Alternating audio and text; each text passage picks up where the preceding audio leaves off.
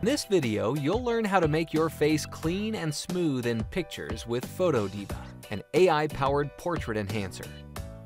Open your picture in PhotoDiva. Then switch to the Retouch tab and choose Auto Retouch.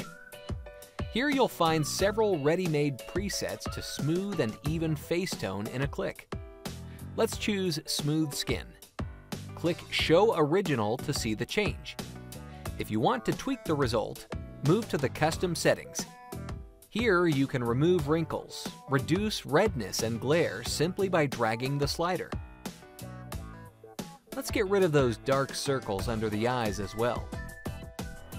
Click Apply to confirm the changes. To get perfect skin, we need to add a finishing touch. Select the Healing Brush tool. Zoom in on the picture and adjust the brush size. Paint over the blemishes that are left.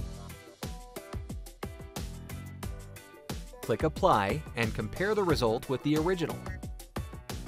Now the skin looks perfect. Let's see how to soften skin if you have wrinkles. First of all, apply the Smooth Skin preset to the portrait. Next, switch to the Custom Settings and adjust the wrinkles and glare sliders in the skin section.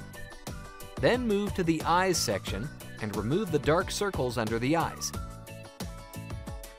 Click Apply and Show Original to see the changes. Let's also add some depth and contrast to the portrait. Choose the Add Dimension tool and adjust the highlights and shadows.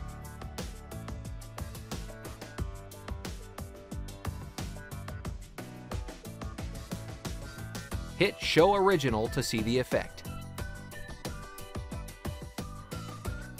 Now you know how to smooth your face and enhance your portraits in a few clicks. Download PhotoDiva and make your skin look flawless.